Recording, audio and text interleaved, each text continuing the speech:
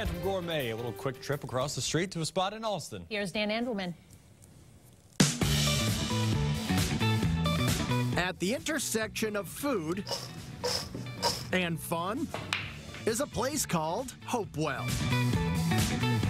Located on Comm Ave in Allston, Hopewell Bar and Kitchen is the kind of place you'd want to have in your part of town. Hopewell is the best bar in the neighborhood. The Hopewell Bar and Kitchen is a fun hangout. Probably the most chill place to be anywhere. Everybody is just blown away by what they see, what they eat when they come and hang out. General Manager Demick O'Brien oversees this subterranean space, which is set up to look more like an awesome basement game room than a restaurant. There's pool tables and pinball, shuffleboard, and vintage video games.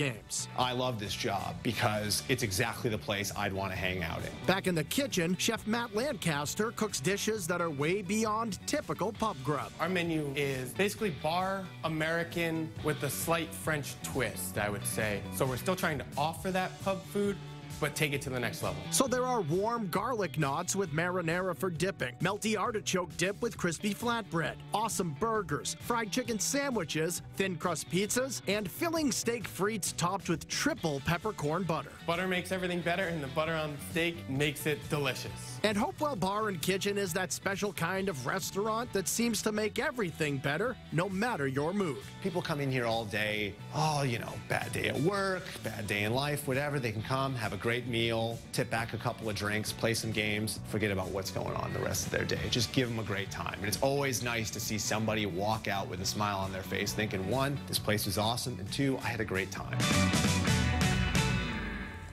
I can't deal with it. it's so good. For more food and fun, watch Phantom Gourmet today at 10:30 and 11 a.m. on My TV 38.